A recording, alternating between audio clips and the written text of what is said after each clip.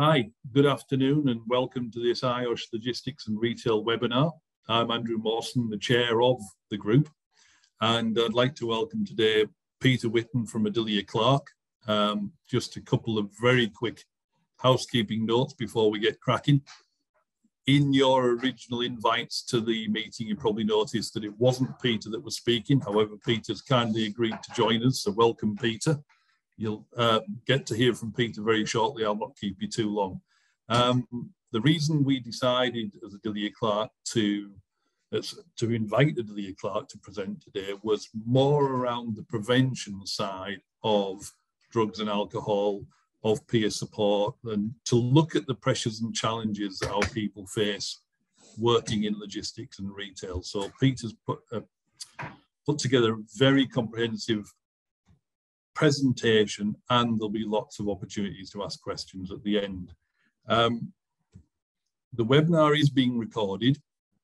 We will also make sure that if any questions are not answered during the webinar, that they are given to Peter to answer afterwards, and they'll be available on the IOSH website.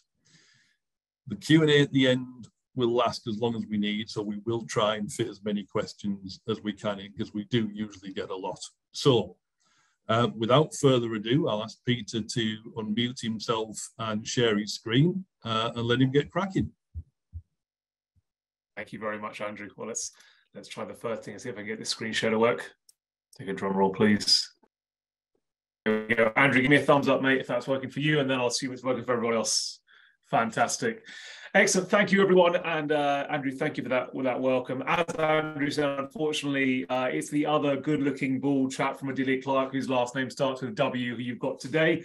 Uh, David has currently just landed in New Zealand, so we thought it would be harsh to get him up at midnight uh, to do some talking to you.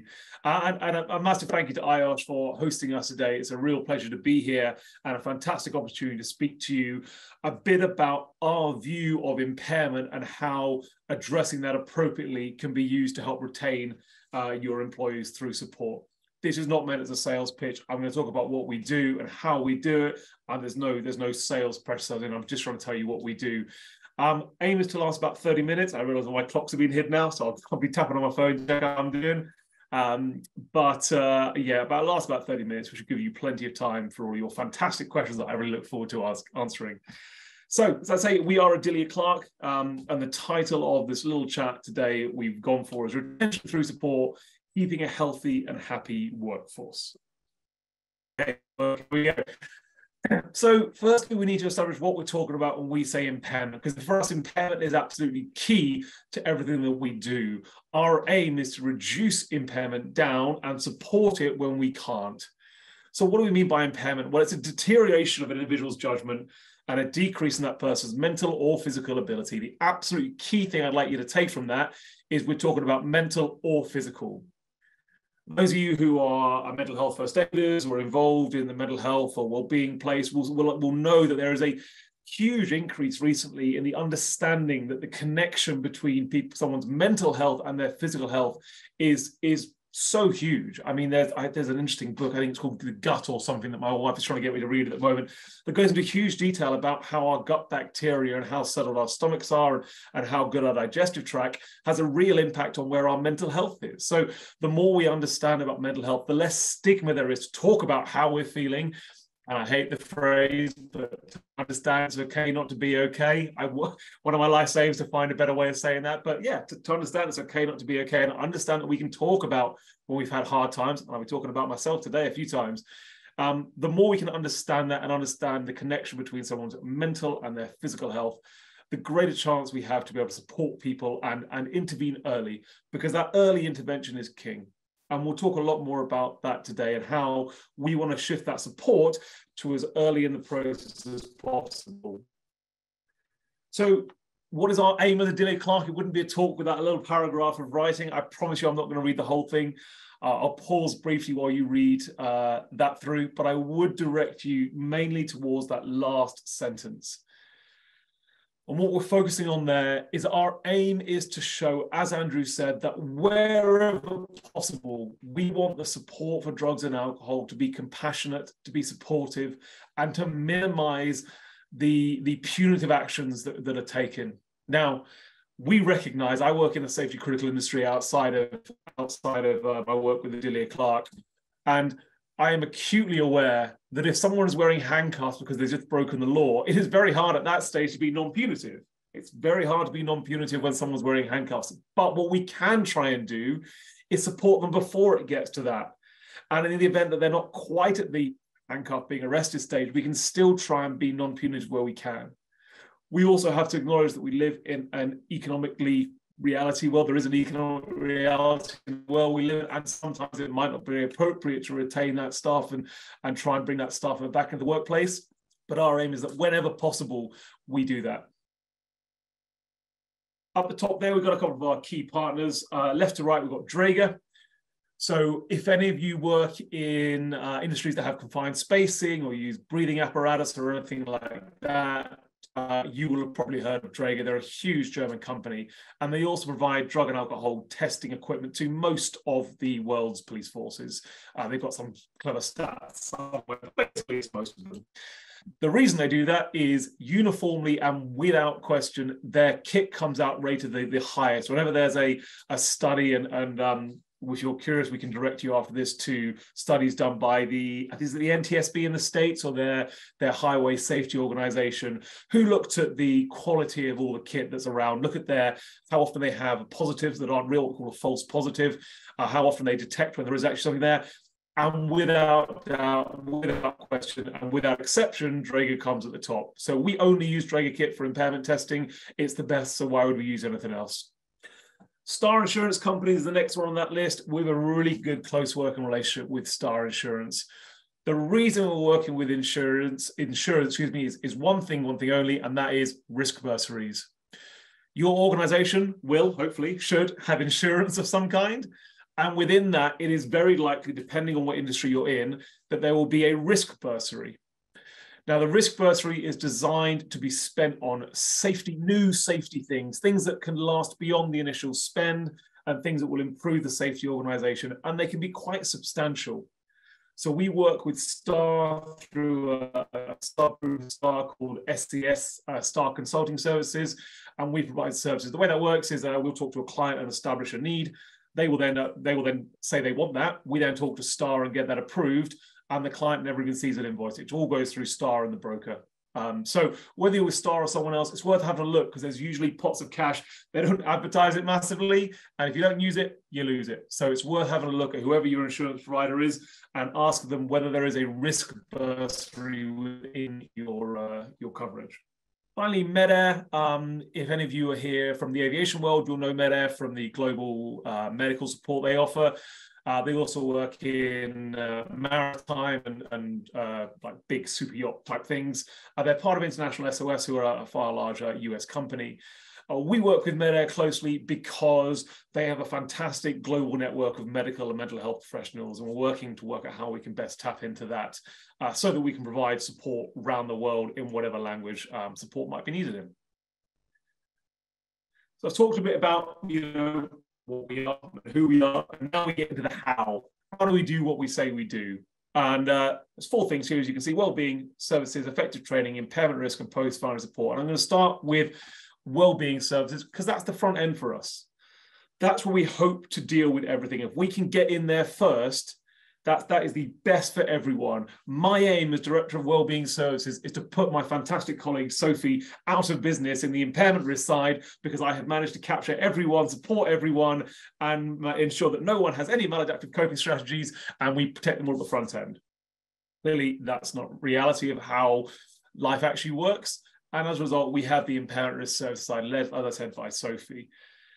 Um, this is where we get the psychoactive substance testing element of it. Um, and this is where we'll talk more in detail in a minute about the actual how, but it's where we do the impairment risk services. What I will say at this stage is, as far as we're concerned, everything flows from your policy.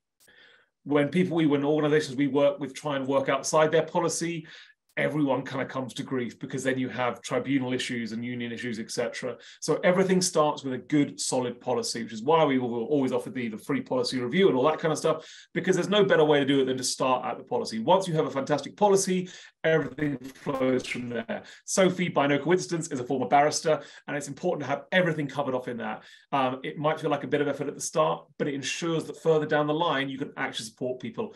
A good example of this is we had a, a partner organization who didn't have in their policy they could do hair testing, and I'll talk why that's important later, but they didn't have it in their policy. And as a result, when it came time, everyone agreed we wanted to do a hair, hair test. The individual said, no, and the company had no pushback on that. No, well, if you don't do it, you lose your job because it's not in their policy. So getting that policy right is so important. Next up, we have post-finding services. And again, as always, I'll, I'll mention it again a bit later on, but the key here is when someone falls through the well-being services and we're unable to support that person for whatever reason, or they don't come to us and they start adopting these maladaptive coping strategies and they end up abusing psychoactive substances, if we when, when we find that person, when the safety net catches that person, excuse me, be it through impairment or be it through a lifestyle test, they will fall into the post-finding services section of the um, of the company. And again, I'll discuss that more in a minute. Pardon me. um, finally, we have at the bottom there, underpinning absolutely everything we do, effective training. I am so, so passionate about this. I come from a training background, as you expect the training team be, most of the well-being services team have a training background. And that's because we have all learned over time the very, very simple adage that if people don't know about something, they can't use it. It sounds so obvious to say, but you'd be shocked how many companies spend lots of money on things. I'm thinking mental health first aid here. If there's any, I just say, I, I love MHFA. We use MHFA in a lot of our training. We do the half day mental health aware course as part of what we do. Claire Bahara, who runs the peer support, our main peer support program for us, she's a mental health first aid instructor. I think it's a fantastic bit of training, but so often, so, so often, companies pay to do that and they don't train their staff on it. They don't explain that it's there. They don't get the word out. And most mental health first aiders I run into have never been used which is so frustrating because they, they put themselves forward, they're, they're, keen to be involved, and then they're not utilized. So for us, effective training underpins everything we do um, be that through e-learning, be that through online like we're doing here, or even in person. The quality of that training is absolutely vital. And I, I genuinely believe the, the, the quality of training we put out there is the reason why we have such high level of engagement with a lot of what we do. That's what we do. Where do we do it? We do it across industry. Uh, we started in aviation, um, and within aviation, we, short, we support corporate clients like TAG Aviation and NetJets. We support cargo clients like West Atlantic, scheduled airlines like Flybe and Norwegian. Um, skipping up here, I'm sure I'm missing someone out. Hopefully, no one's here who I'm missing out.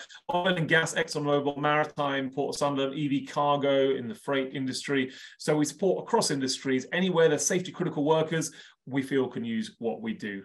So we're now going to sort of break down each of those I spoke about a minute ago into a bit more detail. And we'll start with peer support, because for us, that is the front end of what we are trying to do. But what is peer support? Well, I have absolutely no doubt that everyone on this call has at some point in their life engaged in peer support, because basically it's talking to a peer. What is a peer? Well, we define that as someone with a shared background, shared lived experience, and shared training, which in essence is anyone you work with or probably a lot of your friends and colleagues. So you would have undoubtedly spoken to a friend or colleague about stuff. You are therefore getting peer support. Congratulations, that's fantastic. So peer support exists in all of our workplace, exists all the time. It has definitely gotten harder in the new modern remote world. But even then, you still see people hopefully, you know, outside of your house and, and, and you are engaging in peer support. So what do we do that takes it from that informal chatting to a, a friend, a mate, whoever, a colleague, and creates that, that structure around it? We do a number of things. First off, as you'd be unsurprised to hear what I just said with training, we do training and we do high, high quality training. And the first people we train are what we call key stakeholders. Now, key stakeholders are the interface between the workforce, the front line of the workforce, and the management layer. They might be managers themselves, they might be HR, people services, whoever it is. It depends on the size of the organization, but those people are absolutely vital to the success of a peer support program. The reason being, at the start of any program's life, you have to prime the pump. It's a phrase of Claire Harold, program lead, here right now, she'd be laughing at me because I use it all the time, but it's so true. We can do all the training in the world. We do all the advertising, etc. Excuse me, uh, computer getting all excited. But without those managers, or those interface between the workforce and the management, or the managers themselves, having the knowledge and being able to tell the workforce what's going on and recommend a call, little super little things like instead of saying, um, "Do you want to call peer support?" That sounds awful. Why don't you call peer support? Swapping that around to saying, "Would you accept a call from peer support? I'll do it for you." Little tweaks like that, as it is the, the training we provide, will allow us to prime the pump of an effective peer support program once we train the, uh, the, the, key stakeholders, the, the next sort of key people in any peer support program, unsurprisingly, are the peer support volunteers, PSVs as we call them. And the peer support volunteers are volunteers, as the name suggests. We have always been very um, firm in the fact that we never remunerate and we encourage companies not to remunerate people to do the PSV role. We think that can be quite negative. You get the wrong people coming forward. We have never had a shortage of people volunteering to be PSVs. Quite the opposite. We're always having to bat people away um, when companies put people forward. So remuneration has never entered it. So they are volunteers, and we think that's the best way to do it. And we do training with them. And one of the most important things we do is we teach them to listen. But Pete, I hear you cry. I'm listening to you now, and I've not even had any training on it. Well, are you though? I don't know how many times I've had, and I'm sure we've all had that time when you're talking to a peer, a colleague, a friend, a partner, perhaps, saying nothing, a partner perhaps, and you you're talking, but actually they're not listening, or they're not listening to hear. They're listening to reply. They're not doing what we would call active listening. They're just listening, as I say, to, to figure out what they're going to say next to keep that conversation going, which is fine in a normal chat, but not useful when you're trying to open up to someone about it. So a big part of the training is we teach them how to listen. We also do a lot of work on, on common problems and solutions and signposting because a big part of their role is signposting onto other, other um, things that are available. And uh, because no course these days would be complete without it, we do quite a lot of stuff on GDPR because they are handling people's data. So the PSV training is really important. However, three days of training with us, followed by recurrent training and etc. during the year, will not make these people professionals. They are enthusiastic volunteer amateurs, and they know that, and that's part of their their sort of job description they sign up to. And I am not a psychologist, and, and neither are they. So we have to have that backup. And we have an amazing mental health professional team. And we have people ranging from clinical psychologists who have worked for you know 20 30 years in the field and are absolute experts and chairs of various royal societies etc down to well-being or menopause specialists or, or, anything else you can think of and we have a fantastic network of these individuals who both support us with the clinical oversight and compliance in those industries where this is a compliance requirement but also allow us someone to signpost PSVs to you. because we take we take the protection of the peer support volunteers very seriously. It is a huge vote of trust for a company to say, take this person, we entrust them to you to then hear other people's problems, probably outside their organization, because we're all about networking organizations together to help with that anonymity of support requests. So it's a huge vote of trust, and that opens that individual up to secondary, vicarious trauma, compassion, fatigue, all these things that we really want to avoid. So we spend a huge amount of time and energy and money um, making sure our PSVs are supported by these mental health professionals. The, the, final thing is, is kind of what I alluded to a second ago, which is creating the network, which allows people to reach outside of organizations. When we started peer support, uh, we actually started it in the aviation sector we were only really aiming at small and medium-sized operations, five, six hundred people. Um, and you can't really get anonymity there, especially in aviation, where if you are, say, a female, it's very hard to find someone who doesn't know your voice because it's all very small groups. And we've been providing it to them for the last three or four years, and, and more and more we are finding the big operators, the the you know the large uh, uh all, all over the world, coming to us and talking about getting engaged with the with the collaborative approach to this because they can see the benefit of reaching out, even if you've got a huge 15, 20,000 person organization, the ability to reach outside of that, even if it's not technically needed for anonymity because it's such an organization, the mental side of being able to jump outside of your organization feels like you are getting more anonymity. So we really see that this is the way of the future, networking organizations that are similar together and allowing people to reach outside we've only got well i give myself half an hour an hour total here so i won't go into the vast amount we do around red flag behavior and support and the way we protect everyone in that networked approach um, but it is all there in the background so that's peer support if people fall through the gaps, though, if people don't come to us for support, we do end up in the testing element. Now, I should mention briefly, I've used the phrase a few times, maladaptive coping strategies. It's worth quick talking about what I mean there. So when we go through stuff, and we, I'm sure everyone on this call, unfortunately, has been through life events, major life events, um, in in their time. When we go through stuff like that, we will cope with it. And we'll cope with it in broadly two different ways either an adaptive coping strategy, like, for example, uh, seeking help, speaking to a peer support volunteer, speaking to a peer, speaking to family, maybe getting therapy, maybe addressing one's personal well-being by trying to go out for a walk at lunch or changing diet, whatever it is to increase our own personal well-being. So that is sort of classic, there are many more, but classic adaptive um, coping mechanisms. On the flip side, we have maladaptive coping strategies, but it's worth saying they are still coping strategies. They will still help that person, just not for very long. And maladaptive coping strategies are your, your standard. Um, sorry, I've got to sneeze in a second. I'm thinking when it's going to come. I apologize. maladaptive coping strategies are things like abusing psychoactive substances, misusing psychoactive substances, because remember, alcohol is a psychoactive substance, so we can all use that without it becoming a misuse. So misusing psychoactive substances, um, gambling, having an affair, all these, you're driving too fast on the road. These are all maladaptive coping strategies. And we specifically want to talk here about uh, the, the abuse of psychoactive substances. See the picture on the up on my screen, see the picture on your screen there. We've got the various different ways of testing.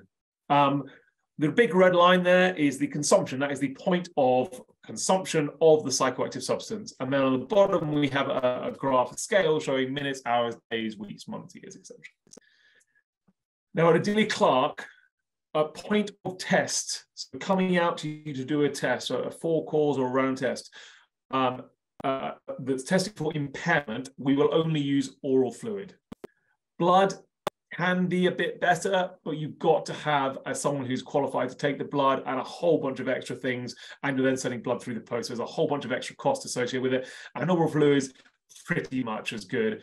For lifestyle, blood is better, and we'll talk about that in a minute. But for, for impairment, oral fluid is pretty jolly good at what it does with the Draeger kit that we use. And then you can see urine. It's always a little bit weird talking so passionate about urine, but urine is, if you'll forgive me, useless at testing for impairment because blood and oral fluid are testing for um, active compounds in your bloodstream. What is currently affecting your brain? What is causing that impairment that we are trying to test for? Urine is testing for metabolites.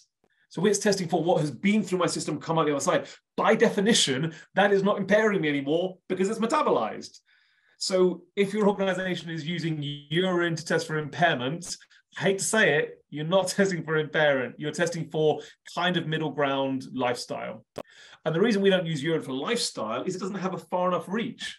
So with hair and fingernails, if we're looking back in the past of what someone has done, we can go months back. It's based on the length of hair, so you might struggle with me, but they'd force me to grow my fingernails out, and then you can get months and months back and look at a full picture. But again, hair and fingernail, we would never use for an impairment test because when you're testing for metabolites, you're seeing what has been through the system. And in fact, we quite like hair and fingernails for that reason, because it doesn't check the last couple of weeks.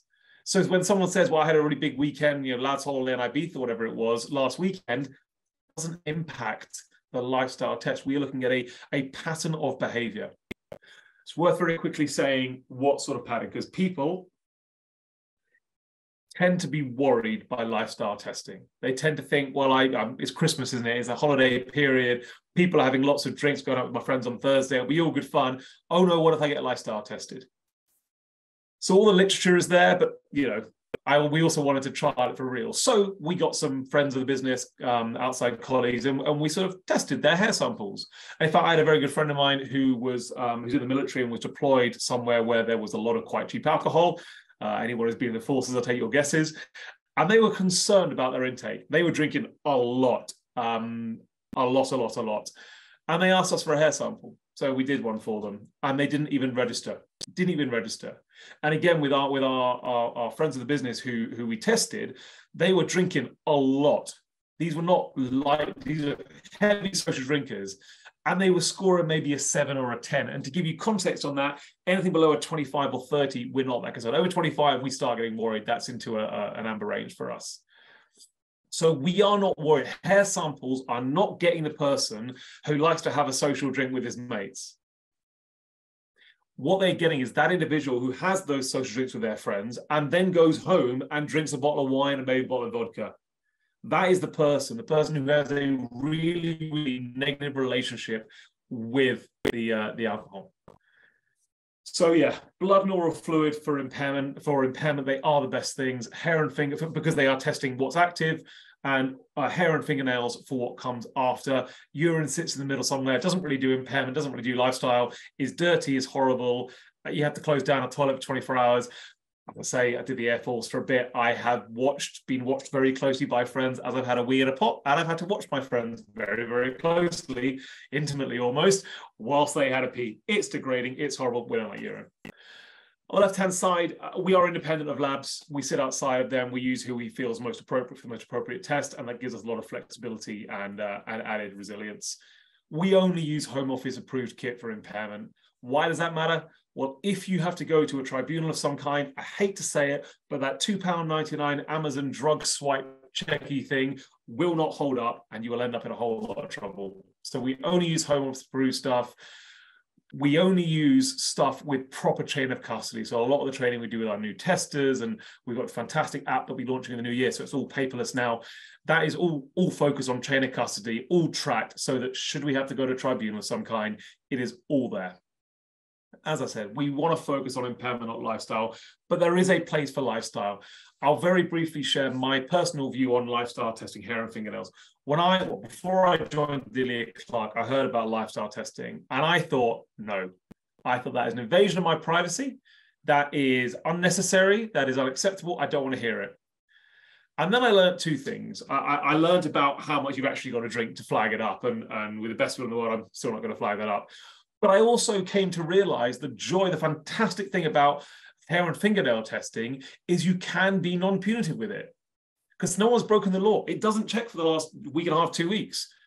So you're never going to get someone being impaired on a hair and fingernail task. But what it does let you do is find the person who is clearly struggling and support that person through the post-finding service and support. So I've really come around. I'm a massive proponent of that, provided it is done in a trusted environment in, with the right culture and it's not being able to catch people out and get rid of them, I think there's a huge place for hair and fingernails.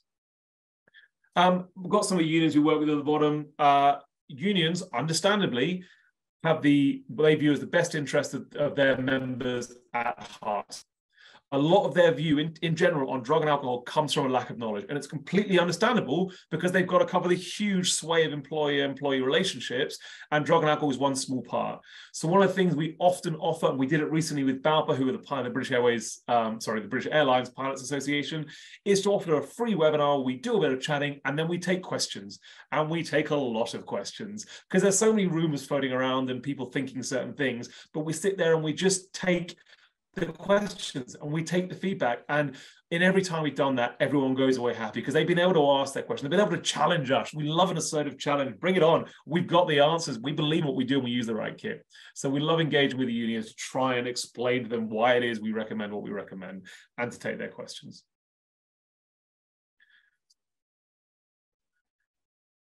At Adelia Clark, we don't really care why you're impaired, if that's if that's an okay thing. I don't really care. Are you fit to do your job? Are you a a a you know a, a alert member of the workforce who can do whatever role we need you to do on that day? Bluntly, as a as a manager, I don't really care if you're impaired because you're drunk. That's not acceptable. You can't do your job. I don't care if you're on drugs. That's not acceptable. You can't do your job. I don't care if it's because you are having, I, I, don't care is the wrong word. I'm agnostic to the reason for your impairment. If it's a huge fight with your partner or your child, whatever it is, I want to treat you in the same compassionate way, regardless of the reason for your impairment. It doesn't matter to me what has caused it, be it drugs, be it alcohol, be it a relationship thing, be it a child thing, be it a general life event. It doesn't matter to what matters to me, which is, are you fit to do your job on that day? With that in mind, we're partnering with an organization in the States who have got a fantastic tool called Alert Meter. Now, I've got two slides on this. This is about an hour and a half briefing by itself. So I'm going to do super top level. If you want any more information, let us know. Um, but as I say, this is a two slide thing on about an hour and a half chat because this is an amazing bit of kit. The background of this, it was created by NASA and the US Highway Safety Agency. It's a psychomotor vigilance test. And the reason NASA spent a whole bunch of money developing it, uh, along with the partner, our partners in the States, is that psychomotor vigilance tests existed, but they were all not very good for two reasons. One, they took about 15 minutes to complete, excuse me, 15 minutes to complete. Who's got time for that at the start of a job? And also, they were based on a norm, a norm of societal alertness, if you like, and that raises all sorts of problems. The joy of Alert Meter, the game, it's not test, the game that we play in Alert Meter is that it's it once you create that baseline, which takes about 10 days, it is registering you against your alertness. Are you within the normal range of your alertness or are you outside the normal range? It is an incredibly bit of, clever bit of kit to the point that if I gave it to Andrew to do it, and Andrew was super alert that day, it would still give me an outside normal range because it knows how many milliseconds it normally takes me to spot a, a shape. So it, it, learns hugely about you. And that's all it is. It's picking which shape is different or the same and memorizing shapes for short periods of time. How do we actually use it? Well, we encourage organizations to use it at the start of work. Uh, you do this, it's about 90 seconds. That's, again, that's the real joy of it. It's not 15 minutes, it's 90, 90 seconds. And it will give you a score. And in the green, we have the normal range, and in the red, we have the outside normal range. Provided you score in the normal range, that's fine, off you go. That is not to say that person might not have some stuff going on in their life, but by a measure of alert meter, they are alert. Scoring outside normal range gives you a little flag up, says uh, you've scored outside the normal range. Give yourself a minute, collect your thoughts, try again. Again, it's only 90 seconds. You're not losing very much time at all. If they have a second ONR, all that triggers is a conversation. It's not go home, you're done, I don't want to talk to you anymore. It just triggers a conversation. Conversation with, uh, be it a manager, be it what we, we're terming a trusted broker, someone you can go to and talk about it. And it allows that conversation that clearly hasn't happened already because the person hasn't come in and said, I'm going through this life event. That conversation that hasn't happened allows them to have it. And the example when uh, Predictive Safety, who the company that, that, that used Alert Meter, the example they give is a, an individual who was operating a 90 ton tray, uh, crane, excuse me, at a steelworks. And this individual um, had come into work, took alert meter, ONR'd twice, and went to talk to his manager. And it turned out, um, this is in the States with obviously their healthcare rules, he's, his son was in hospital. He hadn't slept for the last 24, 36 hours. He was in a really bad way. And he had come to work because he couldn't afford to miss a day of work because of the hospital bills. And he was about to operate a huge 90 ton crane over a crowded factory when his mind could not have been further from focusing on this. And you can see here, this is actually his chart share with permission. He does two ONRs there, and then a couple of days off, and he came back and he scored well in his normal range. So it's a hugely powerful tool. It's very quick to do. It's super cost efficient, and it captures those people what you then use to trigger that with, maybe if the person comes in, maybe you then smell booze on their breath, and that's an opportunity to trigger a, uh, a for cause drug test.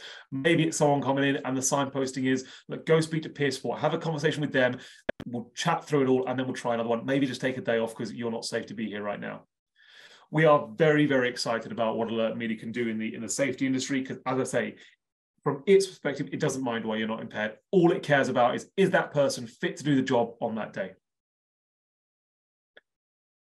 Finally, then, uh, I'm going to speak briefly about post-finding services. So this is what we do to remind you when someone has flagged up at the impairment or the, uh, for a high lifestyle impairment, we want to support this person. And ideally, we want to retain this person in the workforce. Not always, and I, I said there are economic realities and there's sometimes unavoidable punitive measures, but where possible, we do. Why do we want to? Well, firstly, I feel like morally it's the right thing to do if possible, if the economic situation allows, because there's a good chance that the work we're asking that person to do may have contributed to the place they are. Secondly, if we can support someone who is in a really, really dark place, I'm going to talk about a case study in a second. If we can show we can support this individual, then people will come to us when they are in a better place and a better because they have known when if I get to that level, I'll be supported. So I know at this level where I'm better, I can be supported now. That requires a huge amount of trust for the individual who, who has been supported to share their story. But if we can get to that point, it's hugely powerful because then people get supported as early as possible. And finally, quite often, certainly in some of the industries we're working with specialist workers, it can be a heck of a lot cheaper to retain someone through our uh, assessment and the support and action process than it is to go out to the open market and hire someone new. So how does that actually work? Well, briefly, we have the finding. We will be telling you about the finding. So once we've told the, the organization about the finding, we need to support that person. And the first thing we need to do is we need to get blood tests. I mentioned before that, that impairment style um, for, for blood is kind of much of a muchness. It, it is, but blood is still better. And you can also do a single blood test and get detail that you would never get through a blood test. For example, liver function test, which can be a really powerful thing to hold up to someone who we have yet to have a PFS, a post-finding support individual who has admitted they have a problem. Every single person has said, no, I'm fine. A liver function test can be really powerful. So we want to get those bloods done within two or three days of the finding, if at all possible. It's not always be possible, but that is our going to be our target.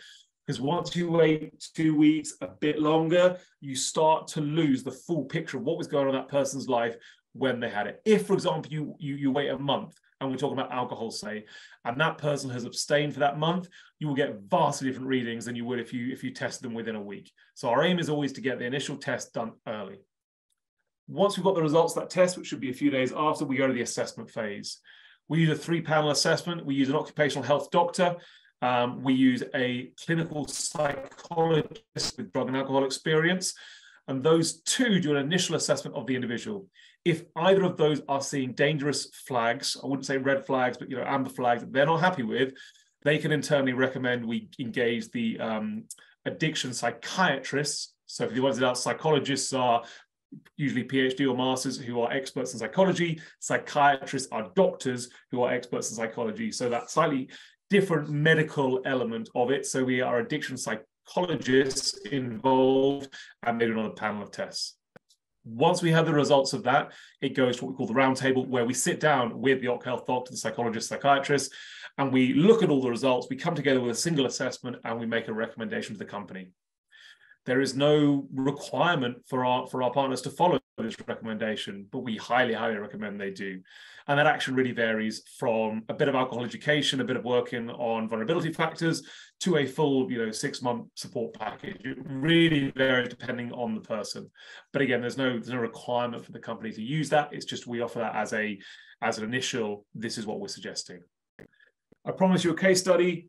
This started with PFS01. And it started because we were going into meetings and we were sitting down with head of HR, senior people services people, and we were having to tell them that they had an individual who had failed a test for some reason.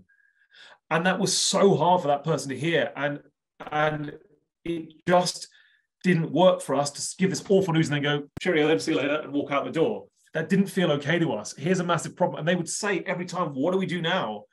And our answer would be, don't know. See you later. And that, that wasn't okay. That wasn't okay. So we started post-finding support. And almost immediately having started it, we had a case, PFS01. This individual was consuming approximately 12 pints of beer, equivalent alcohol, a day. A day. As I said, this is not someone who is just having a social drink. This is consistent every single day consuming that volume, that quantity of alcohol, not always in beer and various other methods. He got uh, found during a lifestyle test, during a hair sample test, which is great because the company could be non-punitive. And he was initially taken off the safety critical role, came through our assessment and the recommendation with a six-month process, uh, not with sobriety, two drinks a week. Um, he was allowed, and a whole bunch of journals, and support, and education. And what was great about being able to support this individual with a lot of their problems were based on on situational effects, i.e., money worries, um, marriage ending worries, access to children worries, etc., that could all be addressed over that six month period. And the individual was only actually off their safe critical role for a couple of weeks before they were back flying, um, and we were able to support that person through through that whole process. Uh, and they popped up the other end of that, that program, and it's, it's fantastic uh, and they actually want to join our program now as a supporter, which is the highest praise I could possibly take. So that is post-finding support. We've got to get in there quickly because if we wait too long, the information is not going to be adequate. It's not going to give us that full picture. We come with the assessment and then we recommend an action. So I have spent enough of my time talking. It's now my chance to listen. Um, and I will just say thank you very much for your time. I really appreciated it. Uh, thank you for letting me share that. And I'll, I'll welcome Andrew back now. Thanks very much indeed for that. That was very insightful, Peter. I think there's, there's quite a number of questions. I think I'll just go through them in order. Um, feel free to take as long as you need to answer because some of them are quite in depth. And as I said earlier, right at the start, any that we can't do now, we'll make sure go on the website.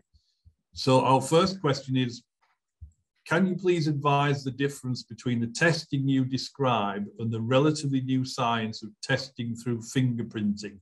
And then the million dollar question, which do you think is best? It's a great question, Paul. So we were at a, web, uh, a conference last year in Birmingham, the NEC, um, and uh, there was a chap there showing off the fingerprinting stuff, and it looks fantastic. It's really great. I mean, you don't need an oral swab, you're not taking a, uh, a bodily fluid. It's all fantastic.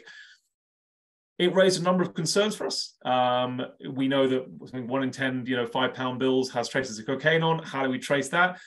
The individual selling it, as you'd expect, because they were selling it, had answers to everything we wanted to dig a bit deeper um, and we said, can you please provide the scientific backup? And he said, yeah, absolutely. We said, we'd really like to see it because we'd like to know more about this because when I get asked questions about the difference between relatively new science of testing through fingerprints, which is better, I have my view because I have seen the science on oral fluid. I have seen the results from the uh, your home office approvals uh, that are extensive. I've seen the science from the US on testing it. Fingerprints have never been on there. They are relatively new. And this individual in their perhaps sales said, yes, absolutely. Took all our email address and I will send that to you. We're coming up on a year. Maybe it's maybe it's finding its way through the Ethernet and it's going to be with us any day now. But if to be honest, this stuff is too serious to use kit that isn't established and and supported, home office approved, etc., tested at the highest level. If fingerprint testing becomes the greatest thing, fantastic. I'm sure we'll get involved in it in somehow. But at the moment, no one has got the evidence. No one is, is willing to back up their views on it with science and actual empirical evidence. So it's exciting. It's a great idea. I don't. I, I see no evidence to for it being a, a usable solution at the moment. Thank you, sir. Um, we've had a request, which I'm sure we can do at the end, uh, for to provide the link for the union course that you mentioned when you were on your, your page regarding the unions. Yeah, I'll just say, Andrew, it's not actually a, a, course that we run per se. We just hold free webinars. If you're involved with union, you want us involved, just just drop us a line. Andrew, what's the best way for them to get in touch with us? LinkedIn, I guess, or do you provide our details? Yeah, via LinkedIn, or they can go direct to the logistics and retail LinkedIn, and we can get that back to you, whichever's easiest for anybody to contact us, or obviously yeah, direct to IOSH. No, we'll we're, sure always really there. happy to we're always really happy to engage free of charge with unions because that's where the good practice flows from, and we are all about best practice. Um, so yeah, very happy to to engage on that. Absolutely. Excellent. And then we've got one that says, I had an employee, I knew he was drinking. HR said, I can't send him home if he refuses to test and I can't administer. What options are there for retail managers providing employees are using, and in this case, are we using machinery such as slicers, so on. Um, what options do our retail colleagues have if there's a refusal? It's a fantastic, uh, great question, Diana, and, and it feeds back to what I was talking about policy. Without your correct policy, there isn't actually anything you can do. There's nothing you can do. You can, in our policy, would say if you refuse a test, it counts as a, the failure of that test. But again, that comes from the policy. If your policy doesn't cover it and someone's refusing, your hands are a little bit tied. You could perhaps send them home as a safety concern, the same way if someone was clearly falling asleep because they were so tired, you could send them home for a safety concern. But actually tackling that drinking needs to be policy based and cover everything flows from that policy. Provided you have a policy that says it, then it's really easy because if they refuse to breathalyze, that's a failure. At which point they have just failed a breath test and then they are effectively over the limit whether they've blown or not. So it flows from the policy and it's why we offer the free policy review because before it's even worth talking with a, a, new company about what we're doing we need to understand where we are and what we're what our targets are and what you want to support. Um, but yeah it's, it's, a great question diana and it as i say all flows from the policy. We've got a lot of interest in the uh, alert meter. You'll not be surprised to hear. Now take as long as you need on this one but a lot of questions about how we might and I'm, it's, it's probably not the right word to use, but sell the alert meter to colleagues in the workplace? How do we tell them it's a good thing and, and what good looks like? A great question, Andrew. Uh, it's all about the culture of the organization, explaining why we need it there, and explaining that should you have an ONR, should the, the it go outside, that is not uh, an instigation for a punitive measure. Now, if you score an ONR and you walk into your manager's office barely able to stand stinking of booze, I have bad news for you. You're going to get a test. Or if there's some other reason that you know you're smelling some other substance, you're going to probably get a test, and we kind of avoid that. But we often like to say no one plans to come to work impaired. That person rocking up drunk has not sat there in the morning going, you know what, today I'm going to be drunk at work. It's no one's plan. So in terms of selling to the workforce, we focus on the other stuff. People don't know always when they're impaired. And this is a really key thing. So about a year ago, I was going through a pretty hard time with some stuff at, at the other work that I do and various bits and bobs of life events and blah. And I had to go for a hearing test. And I thought I was dealing with the stress okay. I thought I was there or thereabouts.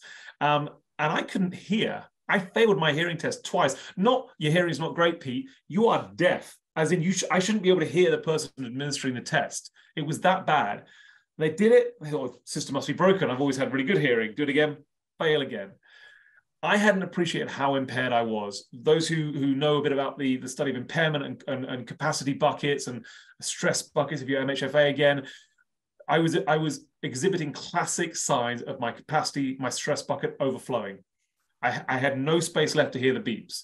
I was impaired. I shouldn't have been driving, but I hadn't recognized that. So we want to use alert meter as a supportive method to identify those times when people just think they've got to just just push on and get through and then support that person through peer support through mhfa through look take a day um, and that will generate concerns about people intentionally failing alert me to try and get a day off. I will save the reason why that's not an issue for the hour and a half briefing with our American colleagues because they're all over that stuff. But suffice to say, the way we sell it, the way we push it into a, a company is all about trust and culture, and we want to support you.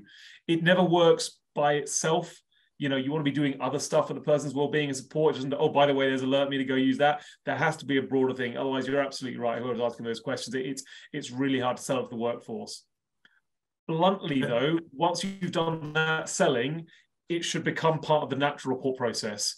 At which point like everything else you have to do wear a hard hat steel coat boots whatever it is you don't really need to sell it to them because it's a requirement for them to do their job. You've got to be correctly attired with ppe you've got to do alert meter before each shift. Brilliant yeah, makes sense. A um, couple of questions about the peer support volunteers mm-hmm. uh, back in sort of drug and alcohol world and so on. The most obvious question to start with is who supports the volunteers? So what's the what's available out there, whether it's from yourselves or anybody else, you know, the mental health first aiders and so on. The questions aim more about how do you get the peer support volunteers first and what's the support network for them? Uh, another another great question. Um, as I mentioned during the during the chat, the trust placed in us with companies providing these PSVs is one we take incredibly seriously, and supporting those PSVs through that secondary vicarious trauma is something we take very seriously. So we recently had a, a PSV who was going through a tough time, and we immediately got one of our, our clinical psychologists to have a session with him. Um, we've done that twice in the last couple of months, and that is that's covered in whatever you, whatever the, the, clients pay to us. It's completely outside of that. The client never knows about that because we're dealing with a PSV. So supporting them is done through through when there is an event, we support them, or if they if they flag themselves up. We also do quarterly um, supervision sessions with them, either with program lead, who with a who is a psychologist as well, um, or a more senior clinical psychiatrist. So quarterly, we also have monthly get-togethers or bi-monthly get-togethers where we all just get in a room and we chat about what we've seen recently, things that we're struggling with, etc. So we create that community of support. So it's a number of ways, but it is always the top of our our risk register, if you like, is we have to support those peer support volunteers. It's absolutely vital. Excellent.